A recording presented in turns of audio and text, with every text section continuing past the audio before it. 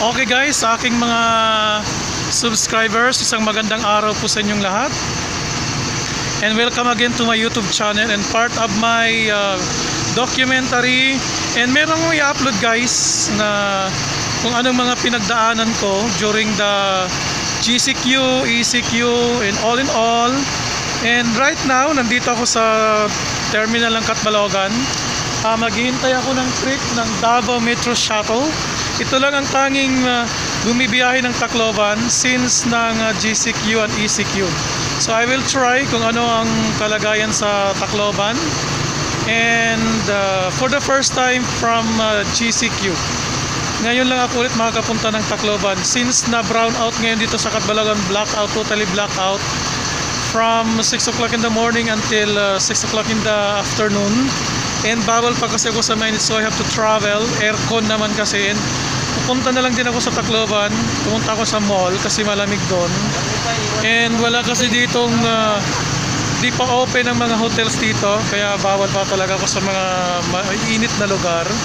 And later on, um, I will discuss why. So, dito ang schedule ng uh, Metro Davao Metro Shuttle alas 6 ng umaga 8 o'clock in the morning 10 and then 12 noon and then 2 um, dali lang.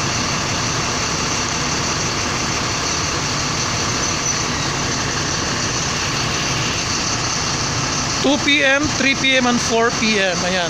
So yan ang mga schedule dito. So later on, makikita niyo yung videos ko while I'm already in uh, Tacloban.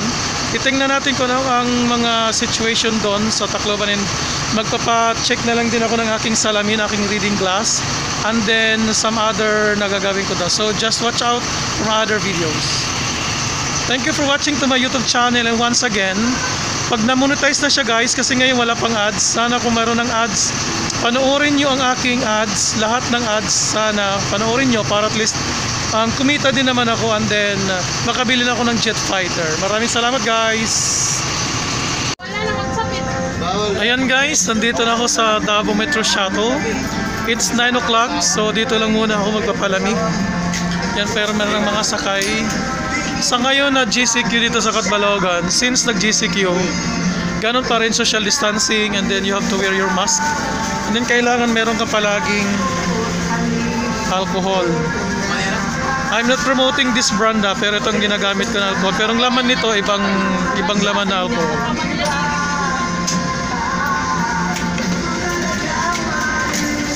And forget about that uh, background, baka may ano yun, may copyright. It just so happen na ano yan. Yan ang tugtog. Say hi.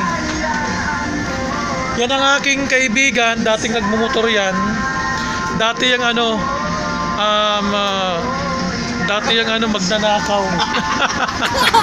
Kaya nagbagong buhay, nandito na siya sa ano, Davao Metro Shuttle. And first time ko nakasakay nito, parang maganda naman. Yan. Nandito. Tingin na dati kang ginigilig Ito na umingarap And while watching ang aking kaibigan na dating dating magdanakaw at dating ano yan na talagang ano yan matindi yan yan ang pinakamatindi sa mahulong. Hindi. Pero ngayon bagong buhay na yan so habang uh, nagnunood siya ng aking ah, vlog pero medyo mahina ngayon ang signal kaya paputol-putol na yan ano Nagtatrabaho ka dito sa downtown pwede allow Ayan. And meron dito guys, sa ngayon na May 21, 2020, kasi bukas magbabago na ang takbo ng buhay namin dito. Hindi natin alam kung new normal or whatever, or enhance or modify, whatever, chuchu. Ngayon dito, uh, May, May, May 31, 2020, magsa-sign up ka ng mga dito. You will fill up yung isusulat mo ang name and then address tapos kailangan ilagay ang cellphone number.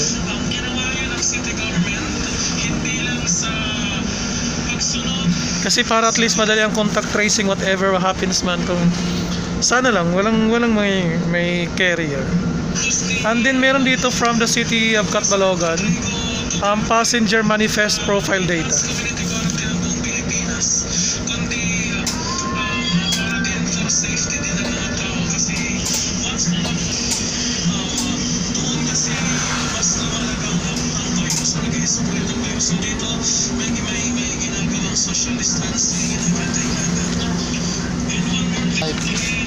And then guys, tapos na ako mag-fill uh, up.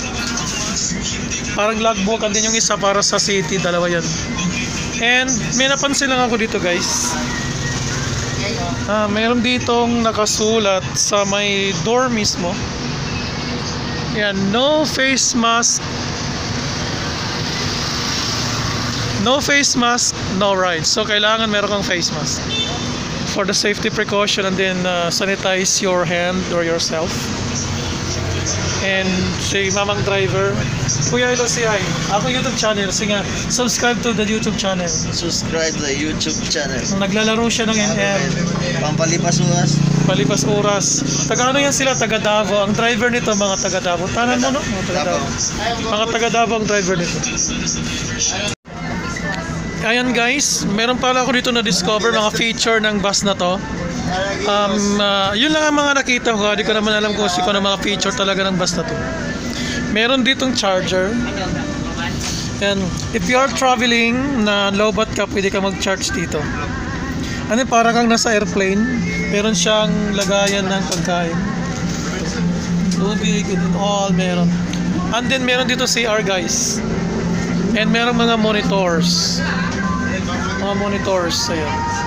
And ito ang CR. So, ang quality ng bus na to para siyang ano, yung international. And then ngayon, um, still uh, GCQ, naka, ano pa rin, naka social distancing. Sa bawat upuan, isang tao lang ang allowed na umupo. So, ganun. And meron sila ditong monitor, mamaya magpapalabas sila ng aking movie. And dito ang driver. Ang may-ari nito, kapilido ng aming mayor, sabi nila. So, komportable naman guys kasi aircon. And then merong CCTV. Ah, wag kang kikilos ng masama kasi may CCTV na re-record. Makikita nila kung maganda ka talaga o hindi. So, ma-identify nila pag may maganda. Pag maganda ka, paglaban mo kagandahan mo. Pag hindi, wish na, wish, wish Khalifa. Okay? So, maraming salamat sa palaging panonood ng aking YouTube channel. And sana matupad ng aking pangarap na makabili ako ng jet fighter ngayong taon. And kung sakasakali meron ng ads ang aking uh, videos, panoorin nyo lahat ang wag nyong ikakat pag nanonood ng aking ads para at least uh, mayroon namang umangat sa buhay, okay? Dahil pangarap ko talagang yumaman. Dahil bibili ako ng mga jet fighter and then submarine na yan. Kasi kung sakasakaling lusubin ang Pilipinas, kaya nating lumaban, okay? Today is May 31, 2020. And then, uh, obserbahan kong Tacloban kung anong kaganapan. Kasi bukas, June 1, 2020, magbabago na naman ang takbo. So, I will make another documentary video tomorrow. Pero hindi ko alam kung kailan ko ito ma-upload kasi brownout dito sa Katbalogan. Total blackout. And then, uh, kung late man ang pag-upload ko nito, so it's just so happen na hindi available ang internet. So, once again, maraming salamat sa panood ng aking YouTube channel.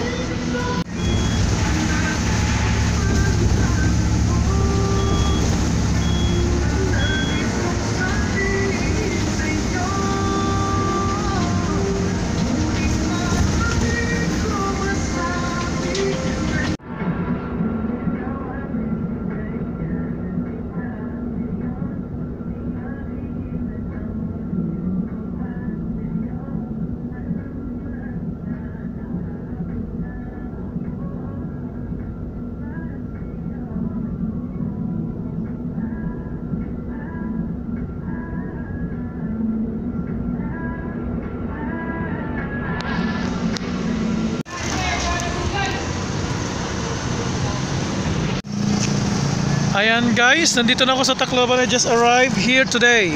This moment, 12.30, I started my travel. 10 o'clock in the morning and then nandito na ako sa terminal ng Tacloban. Ayan. Dito pumapara pala ang uh, Davao Metro Shuttle. Ibang bus to na sinakyan ko. Yung kanina kabababa ko lang. And it's a miracle here dahil uh, inakala ko na uh, mainit. Pero umulan pala dito sa Tacloban so I thank God for this.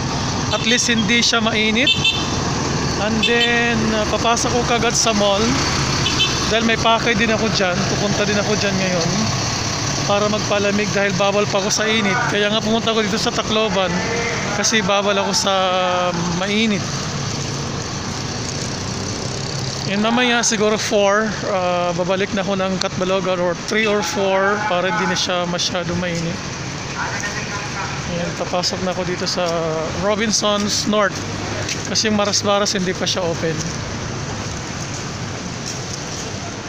So kanina pala guys, pagdating namin sa Tacloban, Leyte side, merong uh, checkpoint. Kaya medyo natagalan.